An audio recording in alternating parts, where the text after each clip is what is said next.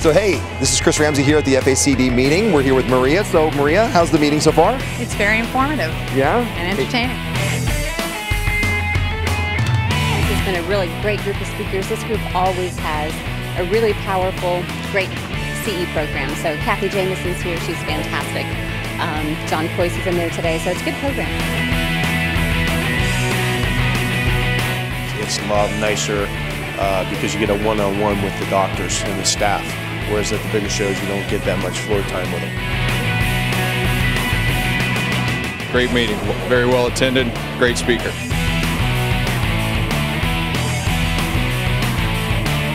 The thing I love about the FACD is that it's a more intimate group of really great practices, practices that really care about their patients, they really care about delivering the highest grade of dentistry that they possibly can. And so you're talking to a group of people who really care about what their patients are using and what they're using to do amazing cosmetic dentistry. So you get the right group for your product line.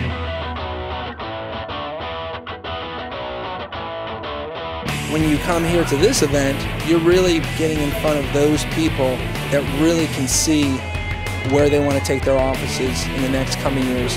And if you, as an exhibitor, have a product that can meet them, or at least fill a void, then it's just a perfect match, and that's why you need to be here. The FACD is amazing. You know what you get, you know, for your membership is is is better than anything I've ever experienced. You're not going to be able to hear any of these speakers in this small of an environment have this kind of access anywhere else. I think this is one of the meetings that you should absolutely not miss.